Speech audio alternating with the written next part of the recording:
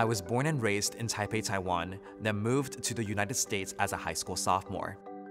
It was here that I fell in love with theater, design, and fashion, and knew it was what I had to study in college.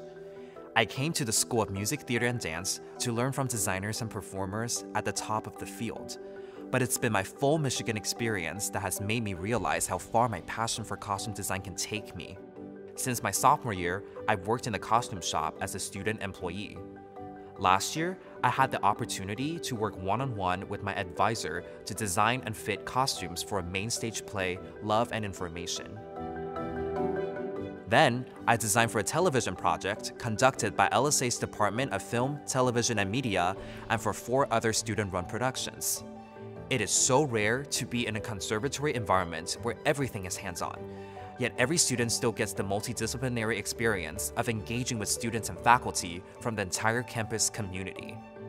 The faculty at SMTD encourages us to gain as much first-hand professional experience as we can, and they've prepared me to compete for prestigious internships year after year.